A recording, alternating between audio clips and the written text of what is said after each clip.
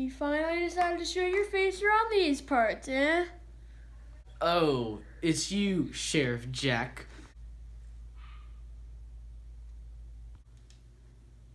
I'm gonna kill you right here and now, boy.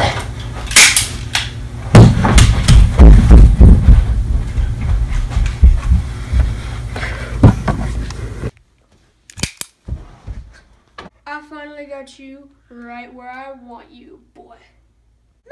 No, please, no.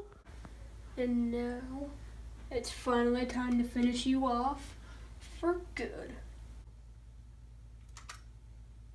I